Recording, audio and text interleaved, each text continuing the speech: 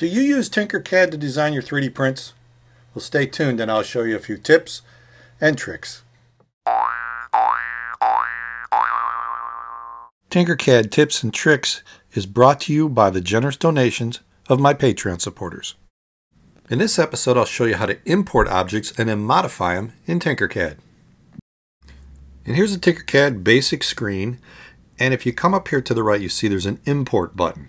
When you click on import, then this box appears that you can drag and drop a file. So I'll come over here to my Finder. I'm on a Mac machine, and I'm going to drag in my CHEP logo. That's an SVG file.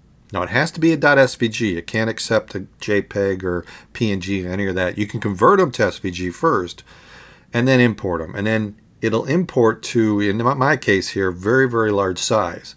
But if you grab the corner and hold the Shift key, and then move forward, everything in the X, Y, and Z will reduce proportionally.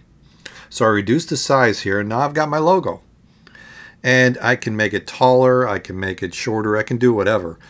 I'll bring in the ruler so I can see what the dimensions are, and you can see it's pretty square and a little over 3 millimeters tall.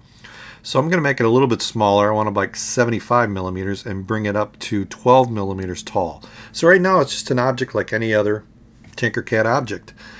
And then I'll bring in a box here behind it. And I'm going to drag this across. And it covers the whole thing, plus a little bit. Then I'll make this box a little shorter so it's underneath my logo. Then I'll grab both units and center the two in the X and Y direction. And now I just imported my logo, turned it into a 3D object, and put it on a block. So now it's like a plaque. And then I could just group them together and I got my object that I can go 3D print. So that's how you can import an SVG file. You can import a .stl file or 3D print file as well. So here's a 3D print that I like, a lion from user Yahoo Japan on Thingiverse. And I clicked on import and then I just drag the file, the .stl file, into the box and click import.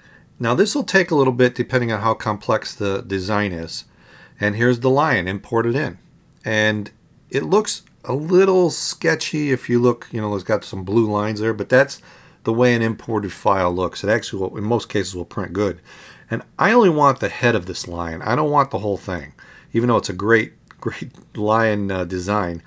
I just want the bust of it. So I'm going to use a box element here that takes away material, and I'll slide it forward until I get to the section that I want. And then what I'm going to do is just group these guys together just so I'll have the bust of the lion for like hanging on a wall. So I'll group these together and you know, it's a great design, but the head is what I want. So that's why you might want to import something just to get a part of the file. And so there it is, the, the line. Now this will look great hanging on a wall, so I'm going to make a wall. I'll just bring in a box element and size it, make it a little bit thinner here, and then bring the box forward so it meets up with the lion's head.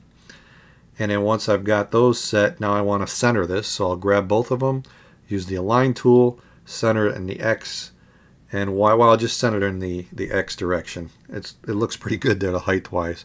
And then I can group these together, and now I have a 3D print with my wall, my block wall, with the lion's head attached to it. And it made it into a pink, so let's change it into a brown. So there's the finished unit. So that's pretty easy. There's another trick I want to show you, and this is after you've already loaded a file like this lion's head. So let me ungroup these guys. And here's the lion's head that I loaded. Just make a copy of it. Click on it and then click on the copy. And then you can go back to your Tinkercad menu, the main menu, and you can create a new design or you can load an existing design like this single screw rack box, which was a previous Filament Friday.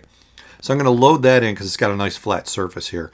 But now, let's say I want to put a lion's head on this thing. I've already copied it. I can just paste. And this way I don't have to wait for the STL file to load. I've already got it and it's been converted into Tinkercad format. So once you've loaded a few of these, you can reuse them just with copy and paste. And then I can grab the corner and hold the shift key and make it bigger. So it should be about the right size for this box. Let me lower it a little bit here so it fits and if this wasn't, you know, just a box, this would look pretty good. I could put the lion head mixed with my box just by sliding it forward, the same way I did the wall. And then group these two together. And well, let me center it first here. I'll grab them both and I'll use the align tool to center in the Y and the X. And I don't think I got the X. So let me uh, let me grab them again and then use the align tool again. See the black dot? Yeah, I didn't get it. It turns gray when it's truly centered. So now it's centered in the X and Y and I can just group these guys together if I wanted. I have a fancy box. So that's just another trick to, so you don't have to just import a .stl. Once it's imported, then you can copy and paste it. So there you have it, a little helpful tip or trick to learning Tinkercad. So if you like this, let me know in the comments below. Also, if you want to check out some of my other videos, just click on them over here. Want to help support the channel, a dollar a month to Patreon. If nothing else, click on my logo and subscribe. Thanks for watching. I'll see you next time.